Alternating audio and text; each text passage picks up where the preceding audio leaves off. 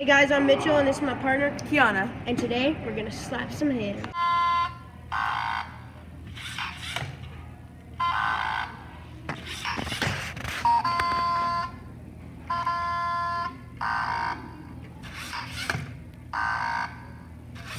So first we had a speed block, which is right here. Then we had a loop. Then that speed will be read by this block, and then it will be connected to a adding block where it adds 20 speed each time. Then that speed will be written here, and then it will wait for the button to be pressed. Once it does, it goes to here, which rolls a dice, and it can be two through four.